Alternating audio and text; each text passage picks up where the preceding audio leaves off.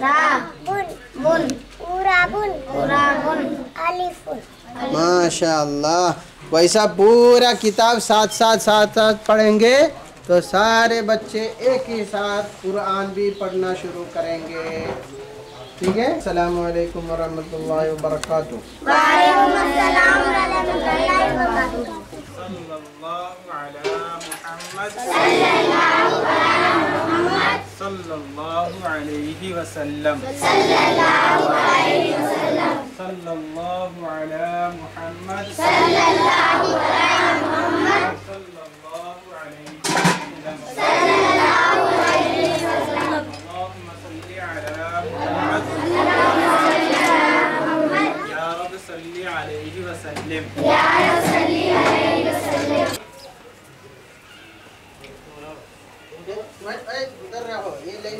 खत्म होने के बाद जाना अब आप उधर नहीं ये जो जाने के बाद तो तरबियत मिलेगा सबसे। चलो बेटा बराबर बैठो। आपको और और फिर सबक अव्वल इस्लाम।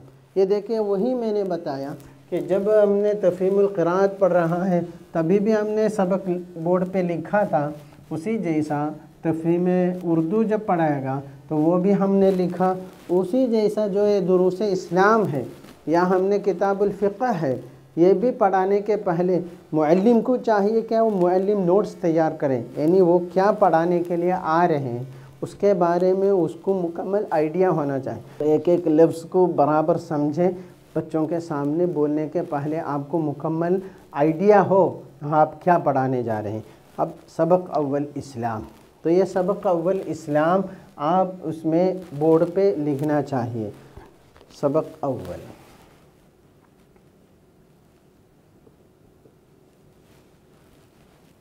इस्लाम, ये हमारा आज का सबक है। इतना ये लिख कर के बच्चों को बोलना, बच्चों हम तो मुसलमान हैं तो हमारा धर्म का नाम क्या है? हम मुसलमान हैं, हमारा इस्लाम, हमारे धर्म या हमारे मज़हब इस्लाम है। तो आज के सबक इस्लाम के बारे में होगा। पहले बच्चों को एक आइडिया दिया। उसके बाद हमने खुद पढ़ के सुनाया उसके पढ़ाने का दो तीन मेथड है। मैं एक बताता हूँ। एक, आप पहले पूरा सबक लिखो, फिर आप बताओ। या आप पहले पढ़ के सुनाओ, उसके बाद लिखो। ये भी हो सकता है। बहरहाल अभी मैं टाइम के मुख्तसर से आपको इशारा करते हुए ख़त्म करना है, लिहाजा मैं पहले पढ़ रहा हूँ, फिर हम लिखेंगे, फिर बच्चों से पढ़वाएँगे। हम मुसलमान हैं, हमारा दिन इस्लाम है। अल्लाह ताला ने अपने बंदों की भलाई के लिए इसला, इस दीन को उतारा ताकि लोग उसको कबूल करके उसके मुताबिक ज़िंदगी गुजारें। जो आप अपने, यानी बिहार में जो उर्दू बोले का अंदाज़ कुछ अलग होगा।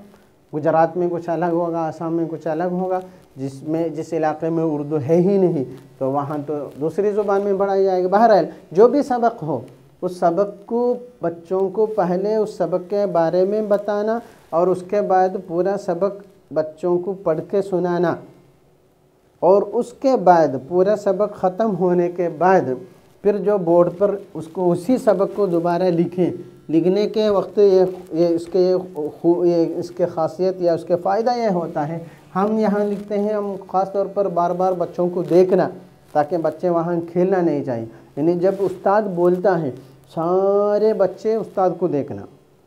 जब बच्चे उस्ताद बोर्ड पर देखता है तो सारे बच्चे बोर्ड पे देखना चाहिए। तो हम लिखना शुरू कर दिया। हम मुसलमान हैं। बस। ये हम लिख रहा था तो बच्चे अपने जहन में पढ़ना शुरू कर दी। कौन? स हर बच्चे। इसलिए हम बच्चों को खेलने के लिए नहीं छोड़ना, क्योंकि हमारे पास आधा घंटा है। इस आधा घंटे के अंदर मुकम्मल तो एक बार हमने पढ़ के सुन रहा था तो गौर से सुन लिया। अब हमने लिखना शुरू कर दी। तो जो हमने ऑलरेडी पढ़ के सुनाया तो अब बच्चे के जहन में ये बात पढ़ने का शुरू कर उसमें कुछ बच्चों को पढ़ने में दिक्कत होता है, कुछ बच्चे पढ़ने में आसान होता है। तो अल्लाह ताला ने इसको लिखा है।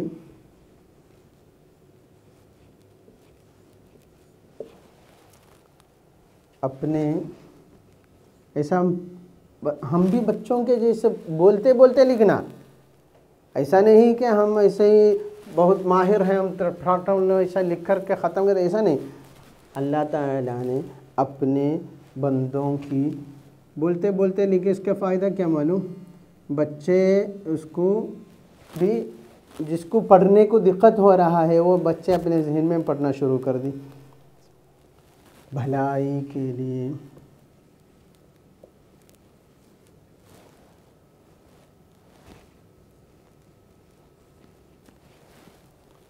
इस दीन को उतारा।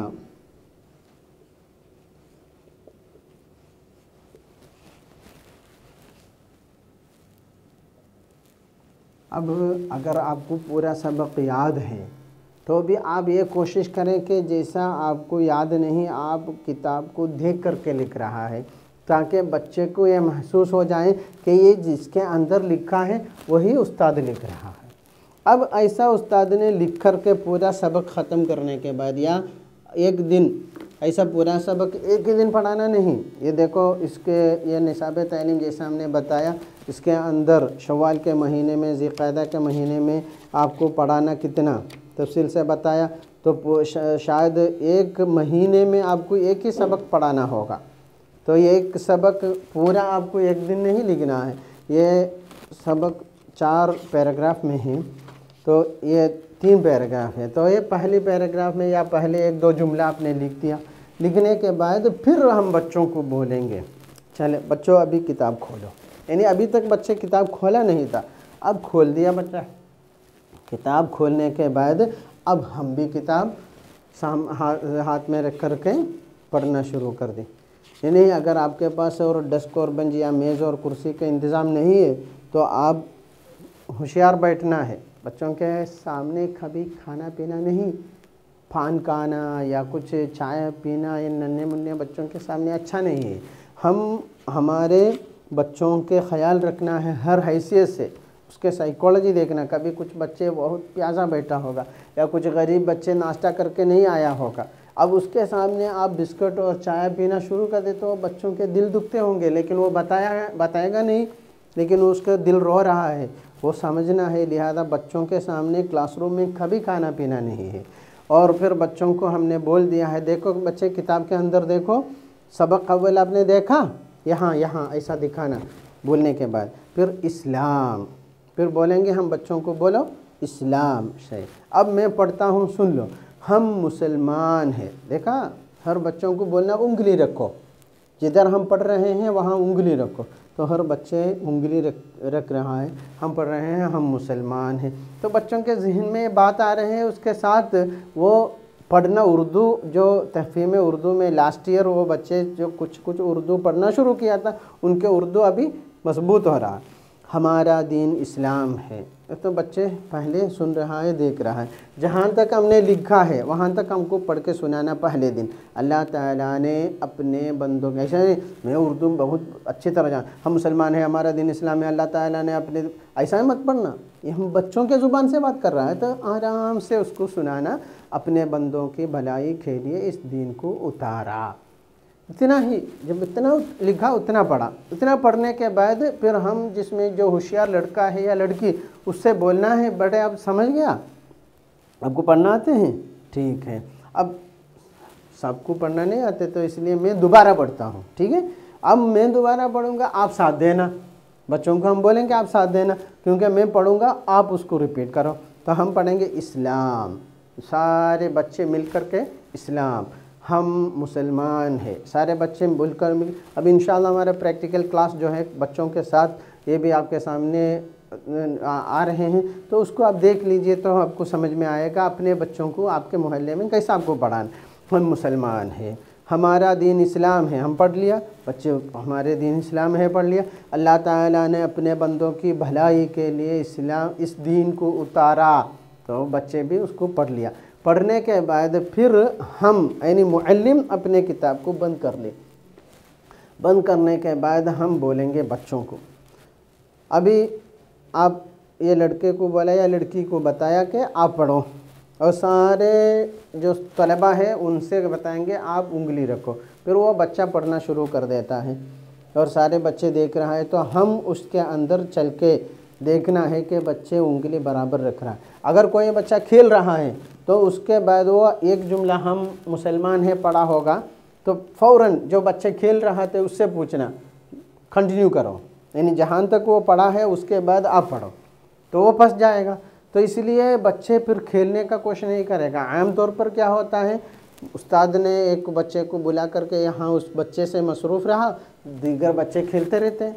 इसलिए ऐसा खेलने का मौका ही नहीं देना। जो आधा घंटा है तो आधा घंटे के अंदर जितना बच्चे हमारे सामने सबको पढ़ाई मिलना चाहिए।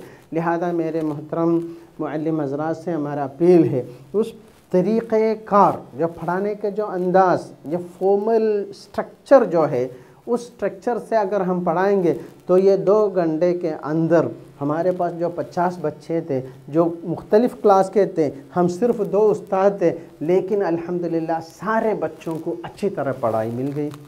अगर हमने एक एक बच्चों को पढ़ाएगा तो पाँच मिनट में तो कोई बच्चे को अच्छी तरह पढ़ा ही नहीं पाएगा। दस मिनट दिया तो दस मिनट में एक घंटे में सिर्फ़ छः बच्चों को पढ़ाएँगे। बाकी पचास बच्चों में से, बाकी बच्चे ऐसे उस दिन महरूम रहते। लिहाजा मैं आपसे गुजारिश करता हूँ कि ये जो तरीक़ेकार यानी राइटिंग बोर्ड का इस्तेमाल, कलम और उसके बाद जो नए नए सबक और उसके सवाल जवाब और फिर बच्चों से कॉपी में लिखवाना, उसको करना और हर दिन हाज़िरी लेना बच्चों का और अपने पेरेंट्स को बुला करके माँ बाप को समझाना और जो नमाज़ वगैरह का शराइ वगैरह पढ़ा तो नमाज़ घर में कायम करना।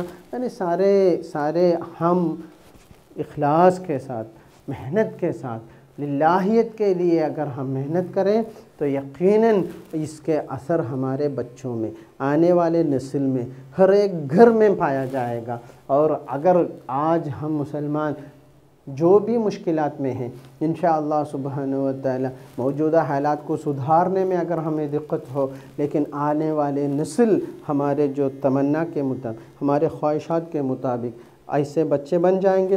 वो डॉक्टर भी है, इंजीनियर भी है, एमपी बन गया, एमएलए बन गया, लेकिन मुकम्मल दीनी तालीम से वो आरास्ता है, उस पर अमल करने वाला है, तभी इस्लाम ज़िंदा रहता है। लिहाजा मेरे मुआज़ कराम से मैं गुजारिश करता हूँ, इस तलीमी बोर्ड के जो किताबों को उसके तर्ज में, इसके अंदाज में पढ़ाएँ और ये जो हमारे सारे किताबें यहाँ आपके मौजूद हैं, इस किताबें सारे किताबें एक सौ से ज़्यादा पब्लिकेशंस हैं हमारा।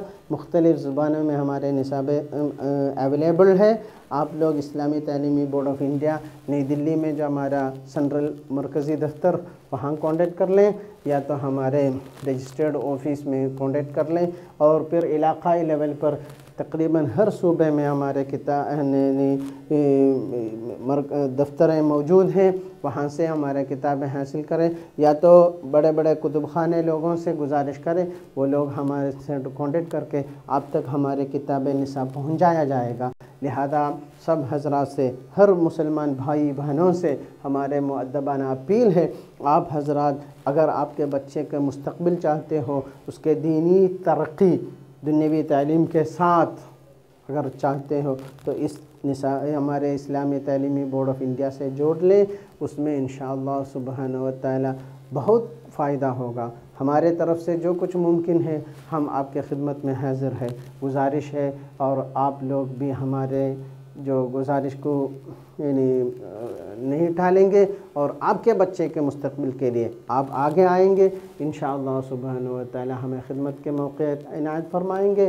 तो अल्लाह ताला हम जब मिलजुल कर के काम करने में हमें कामयाबी अता फ़रमाएगा। अल्लाह ताला से दुआ है, अल्लाह ताला कबूल फ़रमाएँ। हमारे खिदमत को, हमारे जो कोशिशों को अल्लाह ताला कल आखिरत में मरने के बाद जो हमारे वाकई ज़िंदगी है, बहिश्त में, जन्नत में अला दर्जा, अल्लाह ताला हम सबको इनात अता फ़रमाए, हमारे बच्चों के मुस्तबिल बनाए, दुनिया और आखिरत के कामयाबी अता फ़रमाए। रब्बना तना फ़िद दुनिया हसना वफ़िल आखिरत हसना। हमें दुनिया में भी हसनात चाहिए, आखिरत में हसनात चाहिए मतलब हम दुनिया में भी कामयाब हो, आखिरत में भी कामयाब हो। अल्लाह के मकबूल मर्ज़ी, अल्लाह ताला के जो प्यारे प्यारे बंदों में अल्लाह ताला के पास जो आला मकाम, दर्जा रखने वालों में अल्लाह ताला हम सबको शामिल फरमाए।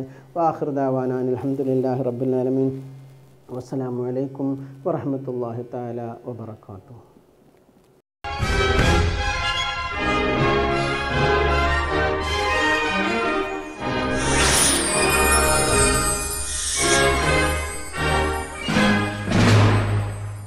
Islamic educational board of India के मातहत चलने वाले इदारे महज हिंदुस्तान में ही नहीं, दुनिया के कई मुल्कों में भी दीनी और दुनियावी तालीम फराहम करा रहे हैं। बोर्ड के मातहत चलने वाले इदारों में से मरकज़ सकाफत सुनिया अहम रोल अदा करता आ रहा है। हिंदुस्तान के जिन सूबों और दुनिया के जिन मुल्कों में इसके मातहत आने वाले इदारे तालीम की रोशनी फैला रहे हैं वो कुछ इस तरह हैं।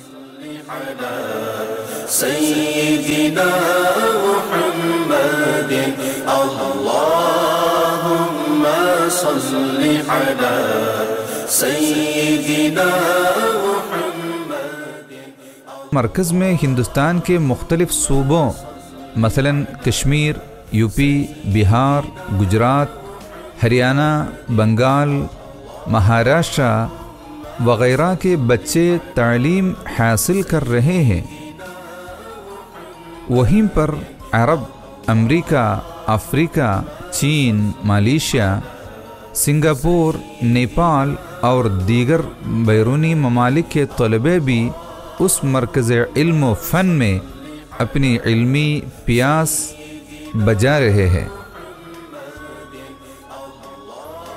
मरकज़ कैंपस के अलावा केरला के मुख्तलिफ़ जगहों पे और गुजरात के राजकोट डिस्ट्रिक्ट की गोंडल शहर में, श्रीनगर के पामपोर विलेज में और यूपी के लौनी में, इसके अलावा ममलकत सऊदी अरबिया के जिद्दा शहर में भी मरकज़ के मातहत इंग्लिश मीडियम स्कूल चल रहे हैं।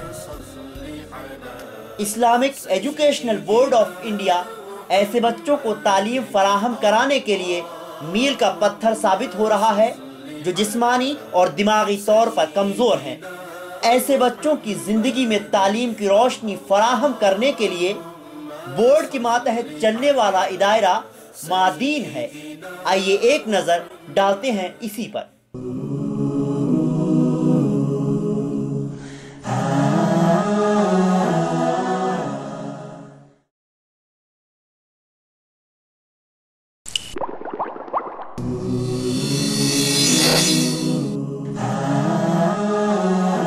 Mahadin is the testimony of truth and righteousness in the moral vista of social and spiritual renaissance. The word Mahadin means source or origin, the source of love, empathy, and all virtues.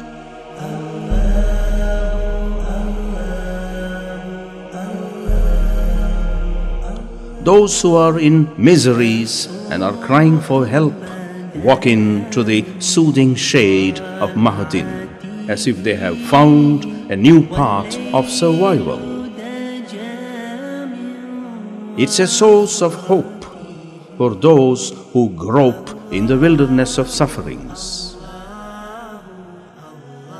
Mahadin promises them fresh dawns of hopefulness the compassionate hands of Mahadin reach out to make thousands of orphans and destitute feel safe and secure under its consoling wings. Deaf, dumb, mentally challenged, and physically disabled all get the soothing touch of Mahadin.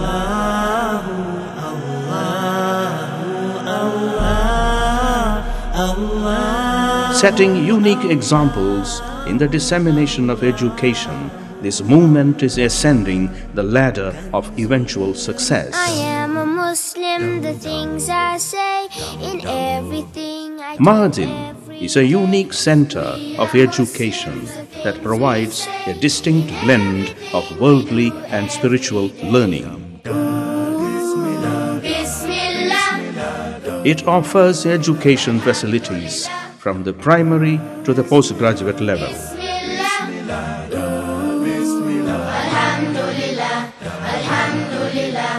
I am a Muslim. Mahadin Sakafatil Islamia, which started in a humble way eight years back, has now grown into a mass movement with more than 15 educational and other institutes under it.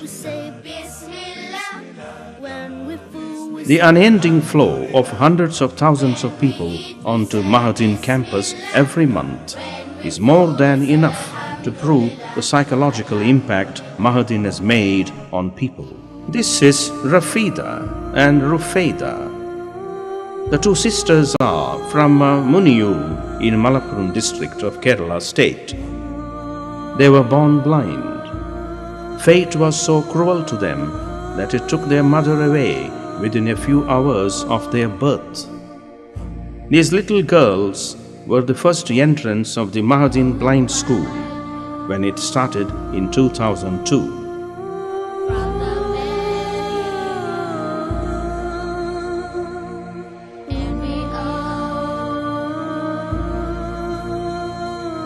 From there on, Mahadin has been lighting up the lives of a number of visually challenged children, like these sisters at the school.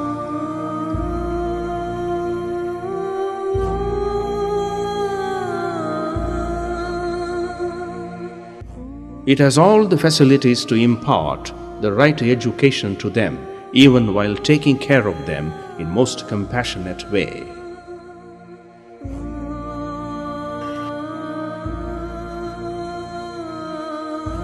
Singing and studying, along with catching up with their day's lessons, they forget the perennial darkness of their world.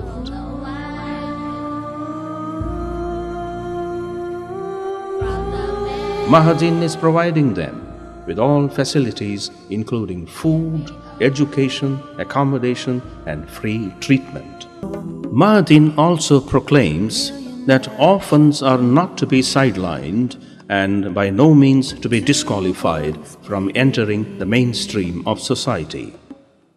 The orphanage provides them with all facilities free of cost. They are also given vocational training along with tips for personality development.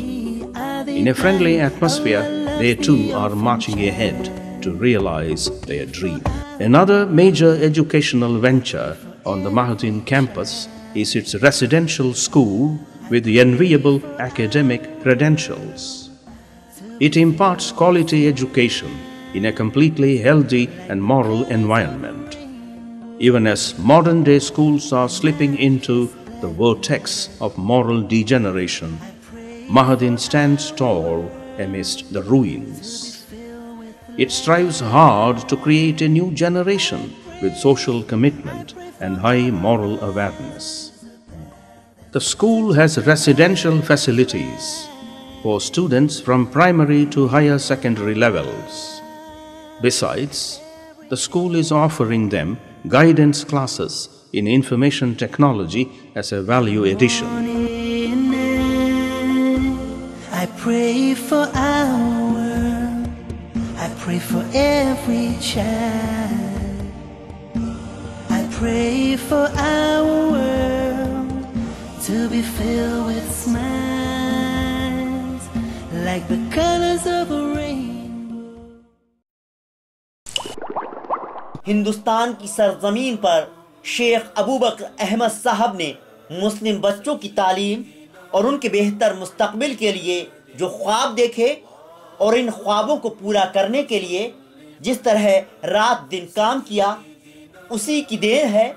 आज हिंदुस्तान के कई सूबों और दुनिया के कई मुल्कों में Islamic educational board of India के मातहत ऐसे इदारे चल रहे हैं जहाँ दीनी और दुनियावी तालीम से तलबाओं का मुस्तबिल बन रहा है। ये सब कुछ अल्लाह के करम और शेख अबू बकर अहमद साहब की कोशिशों से ही मुमकिन हो पाया है।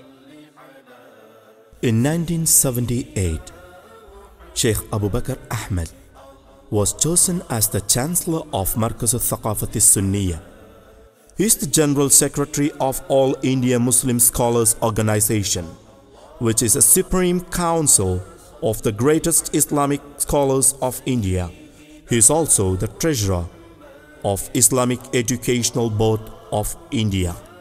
During his relentless expedition to revive the spirit of Islamic tradition, he has visited United States of America, Canada, Egypt, Jordan, Iraq, Singapore, Oman, Bahrain, Qatar, Malaysia, Kuwait, United Arab Emirates, the Kingdom of Saudi Arabia, Yemen, Sri Lanka, South Africa, Morocco, and Brunei.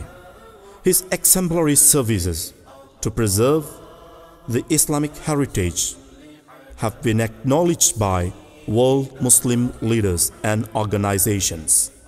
He has presented authentic papers on the Islamic legacy, tradition, heritage, and related topics on various international religious summits, such as International Unity Conference held in Los Angeles, America in the year 1996, International Islamic Conference of Cairo, Egypt in 1990, International Islamic Seminar held in Colombia, Canada in the year 1990, International Islamic Seminar held in Jordan in 1999, Islamic Conference held in Sri Lanka in 2000, International Islamic Conference of Malaysia 2001, International Fiqh Seminar held in Johannesburg, South Africa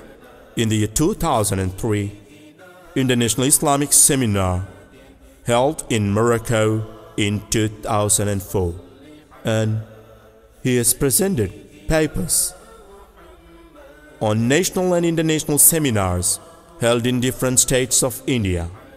He presented valuable papers on topics such as education, religious leadership, national integrity, economic development, political stability, international Muslim community, Islam and science, terrorism and Islam.